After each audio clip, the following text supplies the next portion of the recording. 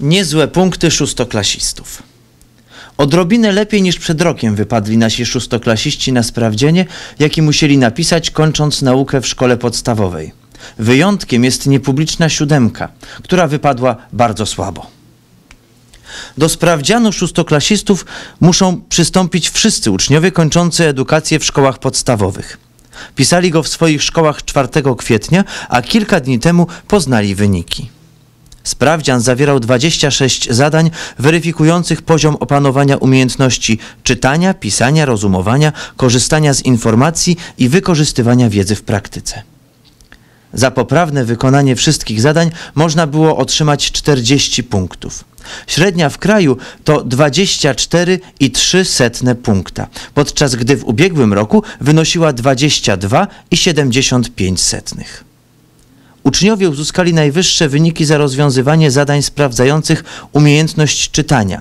Dobrze poradzili sobie z pisaniem, a nieco słabiej z zadaniami wymagającymi wykorzystywania wiedzy w praktyce. Podsumowuje wyniki Artur Gałęski, dyrektor Centralnej Komisji Egzaminacyjnej. Najwyższy wynik wśród słupskich podstawówek uzyskała Szkoła Społeczna STO, aż 32,41 punkta. Natomiast spośród szkół publicznych najlepszy wynik osiągnęli szóstoklasiści z ósemki przed uczniami z SP10 i SP5. Natomiast najniższy wynik uzyskała niepubliczna szkoła podstawowa nr 7, która też jako jedyna w Słupsku pogorszyła swój wynik w stosunku do ubiegłego roku. Na tym wyniku odbił się cały zeszły rok, kiedy walczyliśmy o szkołę, która przecież miała być zlikwidowana, twierdzi Małgorzata Kowal, prezes Stowarzyszenia Siódemka, prowadzącego tę niepubliczną już szkołę. Przyszło do nas sporo nowych nauczycieli, z którymi dzieci musiały się poznać. Poza tym i same dzieci przeżyły trudne chwile, bo część uczniów od nas odeszła i pozrywały się przyjaźnie, usprawiedliwia uczniów Kowal. Inni dyrektorzy są jednak zadowoleni. My uzyskaliśmy lepszy wynik ni- niż przed rokiem i to jest dla nas budujące, mówi Ewa Maleszka, wicedyrektor Szkoły Podstawowej nr 2 w Słupsku. Tłumaczy, że celem sprawdzianu szóstoklasistów jest przede wszystkim badanie umiejętności nabytych przez uczniów w ciągu pierwszych lat nauki. Jednak jego wynik nie ma wpływu na dalsze losy samego ucznia, który i tak musi dostać się do gimnazjum w swoim rejonie. Wynik sprawdzianu szóstoklasistów jest informacją dla szkoły, co należałoby poprawić w sposobie nauczania, mówi pani wicedyrektor. Ale twierdzi też, że wpływ na liczbę punktów uzyskanych przez uczniów ma również środowisko, w jakim mieszkają. Dlatego najniższe wyniki osiągają dzieci ze szkół w tak zwanych najtrudniejszych rejonach, czyli w śródmieściu, twierdzi Maleszka. Strażacy ochotnicy oskarżeni za podpalenia i kradzieże. Słupska prokuratura rejonowa oskarżyła młodych strażaków ochotników z objazdy, którzy podpalali zabudowania i las, bo chcieli brać udział w akcji gaśniczej. Akt oskarżenia trafił do sądu rejonowego w Słupsku. Trzem młodym mężczyznom mieszkającym w objeździe w gminie Ustka zarzucono, że od 16 września 2011 roku do 6 czerwca 2012 roku dokonali szeregu podpaleń różnego rodzaju budynków i pomieszczeń, zniszczenia mienia oraz zaboru pojazdów w celu ich krótkotrwałego użycia, informuje Jacek Korycki, rzecznik Słupskiej Prokuratury Okręgowej. Oskarżeni działali w różnych konfiguracjach. Wyrządzili szkody nadleśnictwu Ustka oraz mieszkańcom objazdy. W czasie śledztwa ustalono, iż 20-letni Radosław W., 21-letni Robert K. i 19-letni Mariusz M. działali zazwyczaj w dwuosobowych grupach. Podpalili suszarnie siana, pomieszczenia gospodarcze, drzwi stodoły, drewno opałowe, ciągnik rolniczy i plandeki spowodowali łącznie straty w wysokości około 250 tysięcy złotych. Dwukrotnie usiłowali poprzez podpalenie poszycia zniszczyć ponad pół hektara lasu wartości ponad 6 tysięcy złotych. Wszyscy dwudziestolatkowie służyli w Ochotniczej Straży Pożarnej. Na ich ślad wpadła policja, gdy ogień trawił kolejne zabudowania gospodarcze w objeździe. Ich metoda działania wyglądała następująco. Jeden z ochotników zawsze jako pierwszy informował policję, że zauważył pożar. Pozostali byli gotowi do akcji. Zawsze po podpaleniu kładli się do łóżek w umundurowaniu. Czekali na sygnał i jako pierwsi zgłaszali się do gaszenia. Za każdą akcję zarabiali po 9 złotych. Oskarżeni w czasie śledztwa przyznali się. Swoje zachowanie różnie tłumaczyli, generalnie każdy i za każdym razem w zależności od przesłuchania inaczej, mówi prokurator Korycki. Na przykład tym, że byli pijani, albo robili to dla adrenaliny, albo że chcieli uczestniczyć w akcji.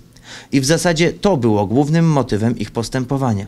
Przed sądem odpowiedzą za zniszczenie mienia przez podpalenie. Grozi im do 10 lat więzienia. Radosławowi W. zarzucono również kradzież rozruszników i oleju napędowego o łącznej wartości 1000 zł oraz zabór dwóch ciągników rolniczych w celu krótkotrwałego użycia. W tym przypadku działał on wspólnie z 20-letnim Mateuszem P. Trzej strażacy podpalacze zostali aresztowani w czerwcu ubiegłego roku. Z aresztu wyszli po czterech miesiącach. Natomiast, natomiast Mateusz P. dostał zakaz opuszczania kraju, dozór policji i wpłacił poręczenie majątkowe. Walczymy o drogę S6. We wtorek rząd przyjął zmiany w programie budowy dróg krajowych do 2015 roku. Nie ma w nim S6. Walczymy, aby pojawiła się w przygotowywanym właśnie planie na kolejne lata. Rada Ministrów przyjęła załącznik numer 5. Przetargi na ponad 700 kilometrów ESEK ruszają, ogłosił wczoraj na swoim profilu na Twitterze Sławomir Nowak, minister transportu, budownictwa i gospodarki morskiej. Mamy też zgodę na S7 Lubień-Rabka. Dzisiaj ogłaszamy pierwsze fragmenty S7 i S3. Czym jest przyjęty przez rząd załącznik? To dokument zmieniający program budowy dróg krajowych na lata 2011-2015. Rada Ministrów może decydować o przyznaniu ponad 35 miliardów złotych na realizację dużych zadań drogowych. Dzięki tym środkom możliwe będzie zbudowanie ponad 700 kilometrów nowych dróg ekspresowych, kontynuowana będzie realizacja takich tras jak S3, S5, S7, S8 czy S17, informuje na stronie internetowej Ministerstwo Transportu. Nie oznacza to, że nową drogę S6 odłożono na półkę.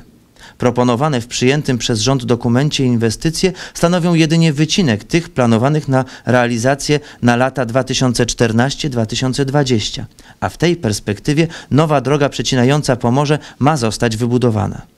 Jednak to do momentu, kiedy ostateczne decyzje nie zapadły, nie jest pewne.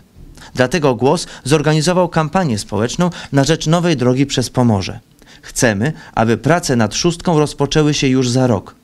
Musimy pokazać decydentom, że nowa droga nie tylko powinna, ale musi znaleźć się na liście projektów tras przeznaczonych do budowy właśnie w kolejnych latach.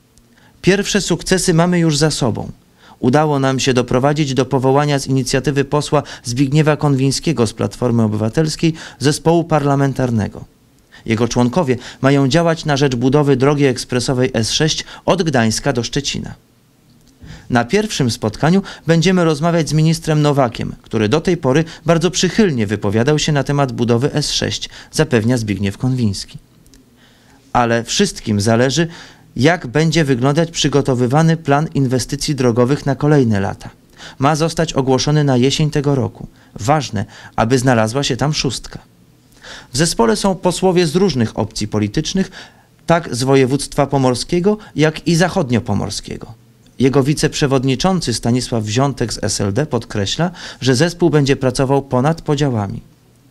Akcję społeczną na rzecz nowej drogi ekspresowej Via Pomorze wspierają też samorządy, ludzie kultury i naukowcy. Nowej ekspresówki chcą również przedsiębiorcy. Mówią, że kiedy powstanie, przyczyni się do rozwoju wielu firm – biznes nabierze przyspieszenia. Z kolei Mirosław Kamiński, prezes Pomorskiej Agencji Rozwoju Regionalnego w Słupsku, zauważa, że szóstka przyciągnie również inwestorów. O znaczeniu nowej drogi S6 doskonale wie sieć dyskontów Netto, która akcję na rzecz budowy szóstki wspiera od samego początku.